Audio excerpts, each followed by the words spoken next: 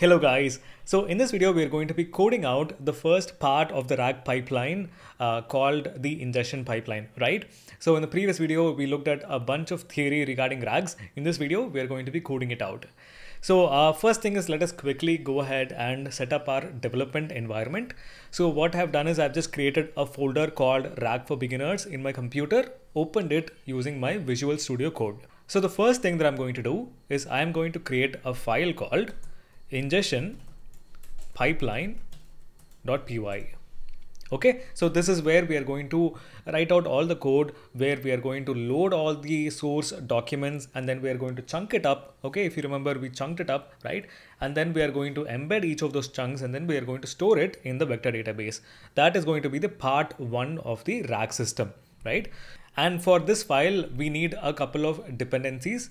Uh, and uh, I want to go with virtual environment this time. But if you are going to be working with larger projects, then you ideally want to go with Poetry. So I'm going to go ahead and open the terminal and then I'm going to say Python 3. Okay, so I'm using a Mac, so I'm going to say Python 3. But if you've got a Windows machine, then you can just say Python. And I want to use a particular module inside of Python. And the module that I want to use is the VENV module and I want to create a folder right here to save all of my dependencies. And I want to name that, uh, that folder as VENV as well. So if I go ahead and press enter, you should be able to see the VENV folder created right here. Now, the next step is we have to activate uh, this particular VENV, meaning we want the terminal to point to this VENV. Right now it is pointing to global. We want it to point to VENV.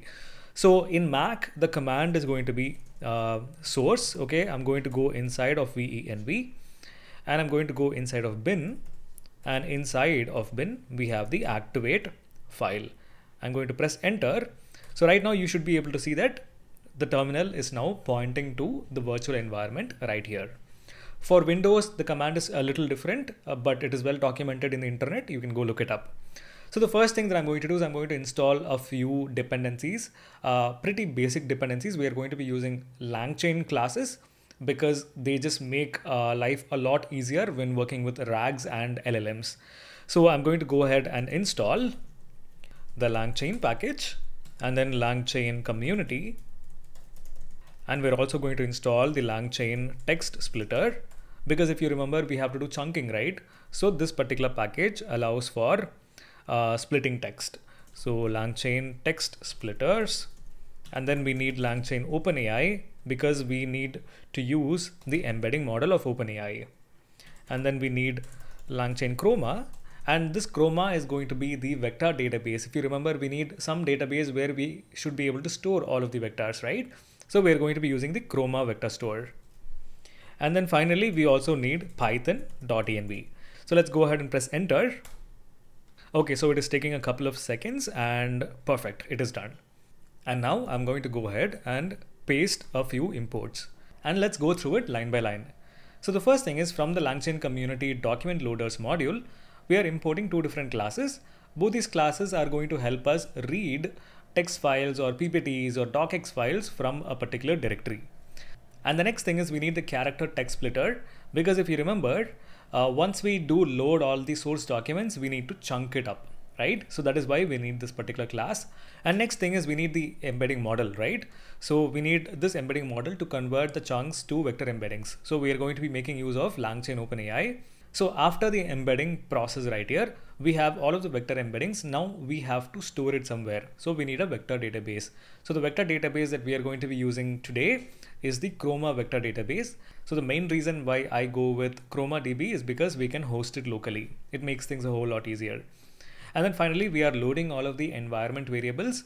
Uh, so if at all we in the future create uh, the environment file and we have some API keys right here, which is something that we will do. Uh, uh in the case of OpenAI's API, we are going to have this available inside of this particular file right here. All right. So the next thing is I'm going to go ahead and define the main function like this. Okay, so I'm just going to, at this moment, I'm just going to print main function. And uh, to test this out, I'm just going to come here and then run this Python file. And as you can see, we have the main function printed right here. Perfect. So it is inside of this particular main function where we are going to write sub functions which are going to take care of every single step in this diagram that we saw right? So the first thing is we will have to load all the files and then we have to chunk the files and then we have to embed and store it in the vector database. Okay so first off let's actually go ahead and prepare our source documents. So as a first step i'm going to go ahead and copy paste a folder called docs. Okay so this is going to be our source documents so what I've essentially done is I have just gone to Wikipedia and then I've downloaded the entire contents of five different companies. So we have companies about, uh, we have Google, Microsoft, Nvidia, SpaceX, and Tesla. So if I go inside of here, it would basically resemble the same text as Wikipedia page. So you can see these are huge text documents, right? Okay, it's you can see it's it's actually pretty huge. And the same thing for Microsoft, uh, Tesla, right?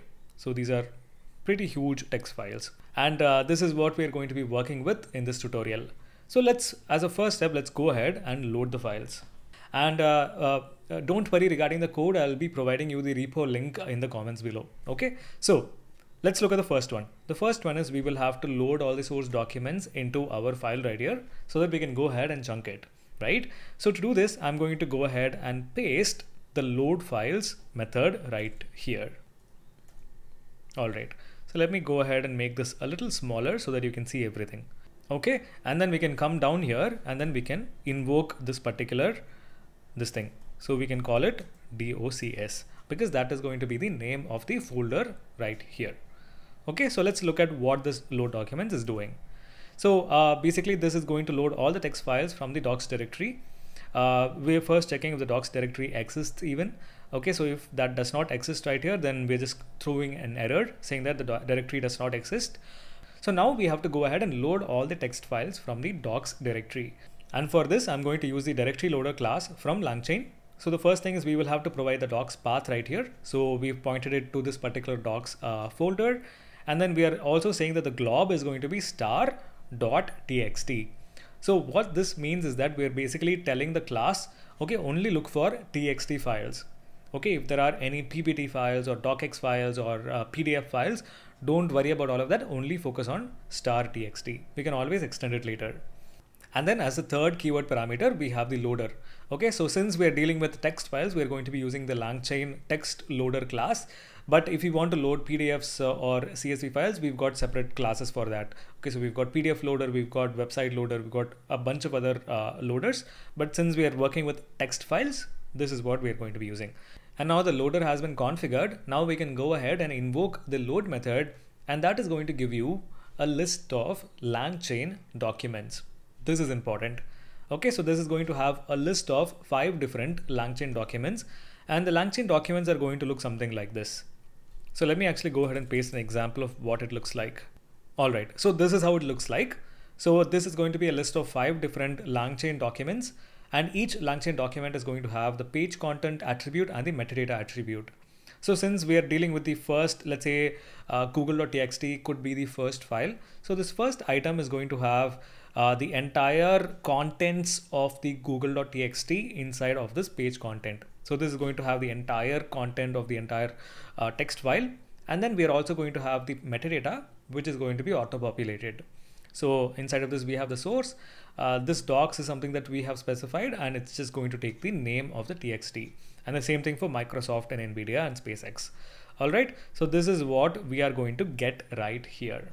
So we're just saying, okay, if the documents are, uh, if the length of the documents is zero, in that case, okay, no TXT files were found. But in our case, when we run it, we are actually going to see five different elements in the documents list all right. And uh, and then we're just going to return it. And uh, I'm just going to print something so that we can actually see uh, everything in action. Okay. Just to make sure that everything is working fine. So let's go ahead and run this python file. And perfect. Let's expand this. Uh, the document one is this is going to be the name of the source.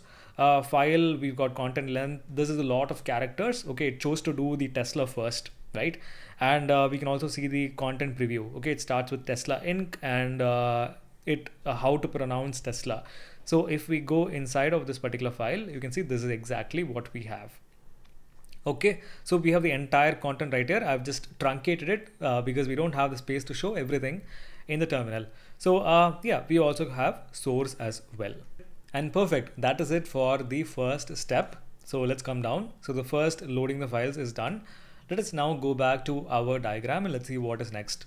So now that we've loaded all of the uh, documents, now the next step is we have to chunk it. So let's actually go ahead. I'm going to go ahead and paste the chunking method right here and paste it over here. Okay. And I'm also going to invoke it down here like this. Okay, so we are passing in all the LangChain documents that we have and we're passing it inside of this method right here called split documents. And if you remember this output of the split documents, uh, I mean the chunking method is going to be a list of smaller chunks. So that is exactly what we get right here. So this method, you can see it splits documents into smaller chunks with overlap. It takes in the chunk size. Okay, in this case, we are going to set the default value to 800 characters. Okay, we're not dealing with tokens right now. We're dealing with 800 characters. The chunk overlap right now is zero. We'll get to what that means in a minute. So this is the major main method that we are going to be using this class character text splitter. Okay, this is the most basic text splitting class that exists in LangChain. Okay? So later on there are more advanced uh, splitting methods we look at. But right now we're just like learning to uh, crawl we're learning to walk right? So this is what we're going to be starting with. So now we are going to say okay go ahead and split all of the documents. And now we have all the chunks right here. And that's it. Okay? We're just going to return it and in the middle i'm going to print something so that we can actually see how it has been chunked and uh, you know how many chunks are there so i can go ahead and run this file by saying python 3 ingestion pipeline dot py. Okay, so also note that in the prints I've limited it to the first five chunks right here. Okay, so we should be able to see the first five chunks. So right here you can actually see the uh, it started with tesla.txt and then let's actually go to the file right here and let's see where the chunk starts and ends. So Tesla inc and uh, if I uh, do this, oh sorry, um, let's go all the way up again and all right. So it ends at uh, the first chunk ends at related products and services, related products and services, right? Let's look at the second chunk where it starts. Tesla was incorporated in July 2003. Okay, it starts here and then it ends at Tesla was A. Okay, so it ends at Tesla was A. And the third chunk is going to start probably here. Okay, so Gig uh, Gigafactory Texas and it ends at company type public. So it ends right here. Okay, so that is exactly what we have okay so we have five different chunks but actually if you come all the way down you can see we've got 1792 more chunks. So that's a lot of different chunks that we have right here. And at the end of the method we're also returning the chunks as well. Okay so we have all of the chunks ready right here. The next step the third step is to send all of these chunks through the embedding model and convert it into the vector embedding and also store it in the vector db okay so that is exactly what we are going to be implementing. So let me come up here and we are going to be pasting the third method right here. You can see it looks pretty simple. I'm just going to invoke this right here, pass in all of the chunks, and then we are just going to have the vector store right here because it returns the vector store. So let's go ahead and see what is inside of this method. So uh, here we are passing in all of the chunks and then also the location where we want the vector database to be created locally. Okay, so we are going to create and persist the ChromaDB vector store. So the first thing that we're doing is we are going to initialize the embedding model. So in the previous video, we saw that there are a couple of different OpenAI embedding models, right? So we saw text embedding 3 small, uh, which had like a default uh, dimension uh, size, uh, text embedding 3 large as well. So that was 3072, right? So in this case, we are going to be going with the small model. Okay, so I hope that makes sense. And now we are going to go ahead and create the vector store okay so this particular uh, method is going to do uh, two things right it is going to take all of the chunks it's going to convert it into uh, the embedding uh, the vector embedding versions and then it is going to store it as well so that is why it takes in all the chunks basically these are langchain documents only but chunked smaller versions right so that is uh, so if i come up here this is also going to return uh, the langchain documents except they are the the page content is going to be much more smaller. Okay, it's only going to contain like, you know, 500 or 1000 or whatever we set it. So we are going to have the LangChain documents come in here in the form of chunks. We are also specifying the embedding model to use for the, uh, the, uh, the vector DB. And then we're also saying, okay, this is where you need to store the, uh, the vector database. Okay, so locally we are saying, okay, store it right here. And then finally, we have collection metadata And right here, we are specifying the algorithm to be cosine similarity. Okay, so this is something that we will circle back to in the fourth or the fifth video in this series, but this is very important. Okay, so this essentially just talks about, you know, what is the algorithm that the system is going to use to compare all these different chunks and retrieve the top quality chunks. Okay, so we are going to be using something called cosine similarity. But for now, ignore this. All right. So once this is done, we're just printing saying that, you know, uh, vector store has been uh, created and we are going to return the vector store. Okay. So let's go ahead and run this file and hopefully Okay, so the reason why this is not working is the OpenAI API key environment key is not been added to the environment file. Okay, so um, it's going to be very simple. Just go to platform.openai.com and if you go to settings and then click on uh, uh, API keys, and then we can go ahead and create a, a key right here saying RAG uh, tutorial. Okay, I'm just going to copy it and come to the environment file. Okay, so this is the variable that we need. And then I'm just going to copy it put it over here. Okay? That's it. And one more thing uh, if you have not paid for it uh, it's just going to be costing you a minimum of five dollars. Okay? Just go to billing right here add that five dollars. If you're based out of India it costs you some 400 300 rupees. But uh, I have to assure you that it would very well last you for at least like four or five or six months of learning. Okay? So this is a worthwhile investment later on uh, once you understand you know how things work then we can go for open source models and you know learn how to you know pull it from uh, Ollama and run it locally. But since we're just starting to learn it is a worthwhile investment. All right perfect. So let's try it one more time. So before I run it I'm just going to go ahead and uh, comment out all the prints so our terminal looks cleaner. All right so let's run the file. All right uh, so it is taking some time right here. So you can see it has started creating uh, embeddings and storing in Chroma DB. You can also see a new folder has been created. Right now it is empty.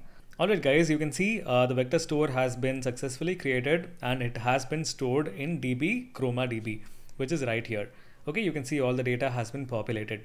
So if we come back to the diagram, we have completely uh, done this entire flow, right? We have chunked it and now we have embedded all of the chunks and then we've stored it in the vector database as well okay so if at all you want this code it's all going to be available in the comments. I'll uh, provide the repo right there. And in the next video we are going to be tackling this retrieval pipeline. So i'm pretty excited. I will see you in the next video